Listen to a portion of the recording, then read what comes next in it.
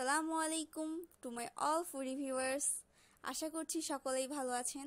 তো আজকের রেসিপিটা হলো ম্যাঙ্গো লাসি। এই ম্যাঙ্গো লাসি কিন্তু দুই তিন মিনিটেই তৈরি হয়ে যায় আর খেতেও অসাধারণ হয়। তো চলুন কথা না বাড়িয়ে শুরু করি। এখানে আমরা একটা আমের পাল্প তৈরি করব। ম্যাজিক!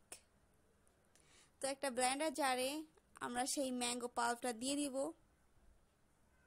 এখানে প্রায় কাপ আছে। তো এখন আমরা দিব হাফ কাপ মতো চিনি। আপনারা আপনাদের স্বাদ মতো দিবেন। তো এখন দেব হাফ কাপ মিল্ক পাউডার আর হাফ কাপ লিকুইড মিল্ক। আপনারা পুরোটাই মিল্ক দিয়ে পানি দিতে পারেন মানে মিল্ক পাউডার দিয়ে। তো এখন আবার ম্যাজিক হবে। কত সহজেই তৈরি হয়ে গেল। এখন একটা গ্লাসে সার্ভ করুন। আর খেয়ে নিন।